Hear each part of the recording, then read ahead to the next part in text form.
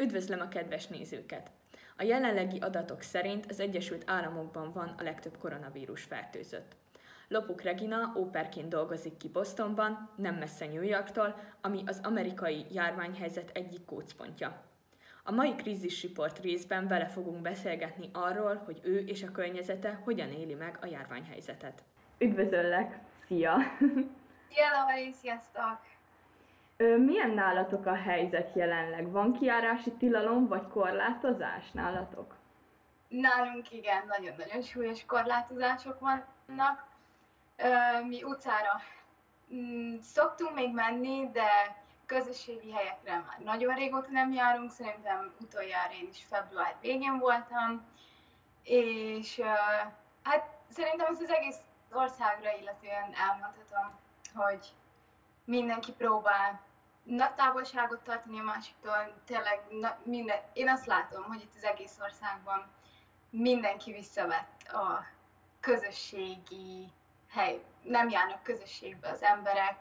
Itt az utcán, hogyha az emberek, ha kilépnek az emberek az utcára, hogy csak elmennek sétálni, vagy boltba mennek, vagy tankolni, akárhova, kötelező maszkot használniuk, ami nem is muszáj, hogy maszk legyen, hanem egy olyan eszköznek kell lennie, ami eltakarja az orrunkat, meg a szájunkat, és ez lehet egy sál is. Én például a símaszkomat használom, amiben, ami meg tényleg kényelmes is, és hát hasznos.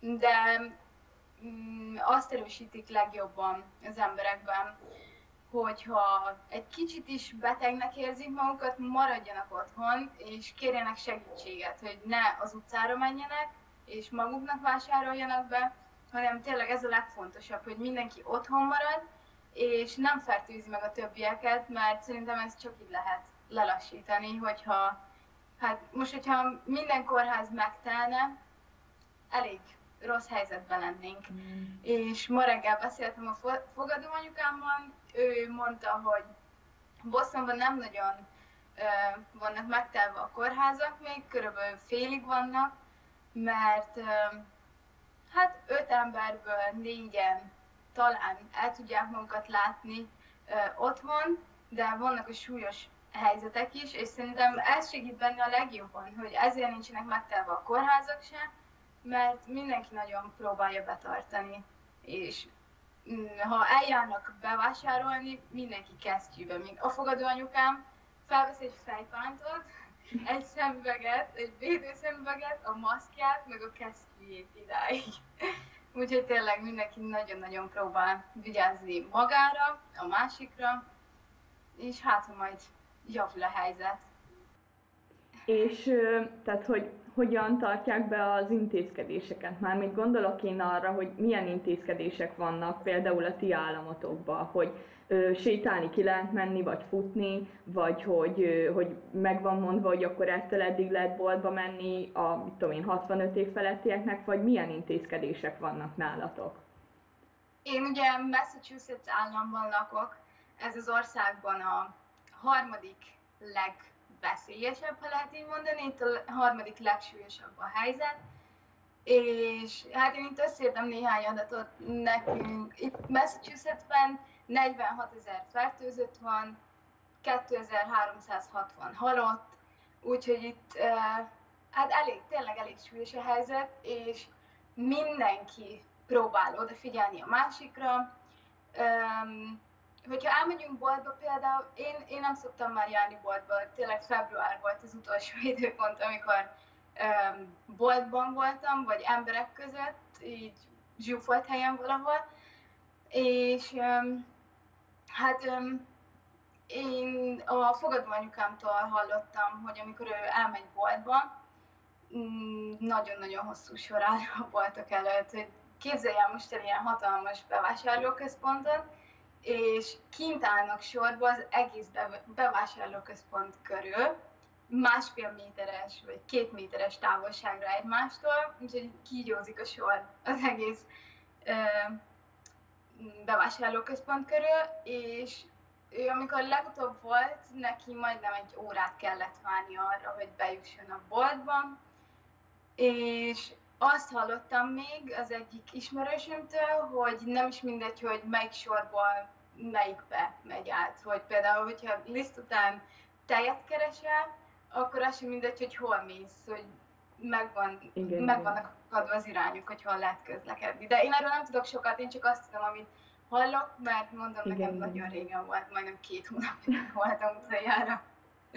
És amint mondtad, hogy az emberek úgymond jól reagáltak erre, ezekre az intézkedésekre, tehát betartják, és nem, nem szegnek úgymond, tehát hogy nem mennek az intézkedések ellen, akkor ezek szerint. Mm-hmm. Én azt látom, hogy mindenki nagyon türelmes, próbál türelmes lenni. Nem biztos, hogy türelmesek, de nagyon megpróbálják. És um, hát én futni szoktam eljárni, meg biciklizni, és én is próbálok arra odafigyelni, hogy minél, hát minden forgalmas helyekre menjek, és olyat is láttam, hogy előttem két gyalogos ment egymással szemben, és jött egy autó az úton. És az egyik gyalogos ott maradt a járán, a másik gyalogos kiment az útra, megkerülte, a kocsi megállt, és megvárta, amíg a gyalogosok kikerülik egymást, hogy nagyon-nagyon elfogadóak, és szerintem, hát mm, tényleg felnőtt fejjel gondolkodnak, hogy tudják, hogy ez most azért kell, hogy megváltozzon a helyzet, mert most, ahogy néztem ma reggel, itt csak nő, mm, csak növekedik a fertőzöttek, meg a halottaknak a száma is, és most már tényleg több mint két hónapja benne vagyunk, és szerintem mindenkinek ez a célja, hogy minél hamarabb meg lehessen, hogyha nem is lehet megállítani, de lelassítani, le lehessen ezt a folyamatot. Igen. Te ugyebár óperként dolgozol kint, vagy, vagy kint Bostonban. Mit kell pontosan csinálni neked? Mi a feladatod? Én októberben jöttem ki ide, úgyhogy most már több mint hat hónapja itt élek. Bostontól mm, hát szerintem 30 percre, 20 percre lakok körülbelül, úgyhogy ez is szerintem nagy szerencsém, hogy nem Bostonnak a belvárosában lakunk, hanem ilyen nagyon jó mm, neighborhoodban lakunk, és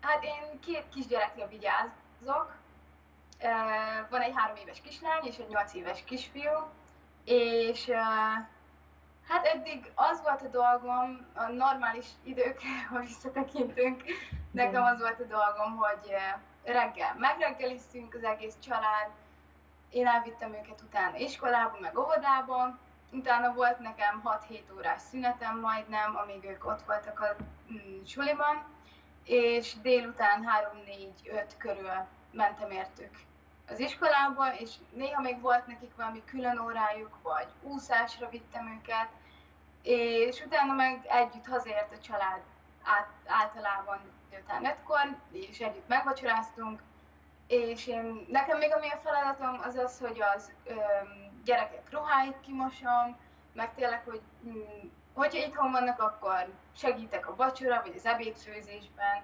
de nem kell most ilyen tényleg hatalmas ebédekre gondolni, mert néha csak tésztát főzök meg, zöldséget melegítek, vagy valami, meg nagyon sok, ugye Amerika nagyon sok mikroskaja is van, és csak fagyasztóból kiveszem, mikróba berakom, meg magyar kajákat is szoktam néha csinálni. Igen. És miben változott meg a feladatod most? Hogyan kötöd le a gyerekeket, hogy, hogy otthon vagytok? Tehát, hogy mi, mi a, úgymond a, hát a titok, vagy érted? Tehát, hogy uh-huh. hogyan lehet őket lekötni? Hát igen, most tényleg drasztikusan megváltozott a sorsom, mert ahogy mondtam, hogy 6-7 óra szüneteim voltak, hogy szerintem hetente 20 órát, 20-25 órát, hogyha dolgoztam, mert tényleg ilyen családi életnek fogtam fel, hogy segítettem, aztán együtt volt a család, meg néha um, a szülők elmentek randira, akkor én fektettem le a gyerekeket, meg én voltam velük itthon este, és most meg ugye mm, 24 órában itthon vannak, és az a legjobb, hogyha itthon tartjuk őket, és ez az együtt reggelizés, ez még megvan, de utána Hát én minél érdekesebb dolgokat szoktam nekik kitalálni, amit élveznek, mert hát gyerekek azok nagyon hamar meg tudnak unni mindent, és az, az a lényeg tényleg, hogy élvezzék és érdekes legyen, úgyhogy én bevezettem ezt a reggeli jogát, reggeli táncparti, mm, hogy meg is mozgassuk magunkat, meg hát húsvétra nagyon sok húsvéti díszt készítettünk, és azt szerintem élvezték, és utána azokkal a díszekkel még játszottak is mm, napokon keresztül, meg hogyha jó az idő, akkor mi tengerpartokra szoktunk még járni, a szülők egy e, jachtklubnak a tagjai, és ott van külön ilyen privát mm, tengerpartjuk, és oda szoktunk elmenni, de az épület ott is be van zárva, úgyhogy csak a parkolóban lerakjuk az autót, és utána besétálunk a partra. Azt is nagyon szokták élvezni, hála az égnek. A kislány ő, imád rajzolni, úgyhogy ezzel szerintem nagyon nagy szerencsém van, mert rajzolás szinte bárhol, bármilyen módon meg lehet oldani, és nagyon leköti.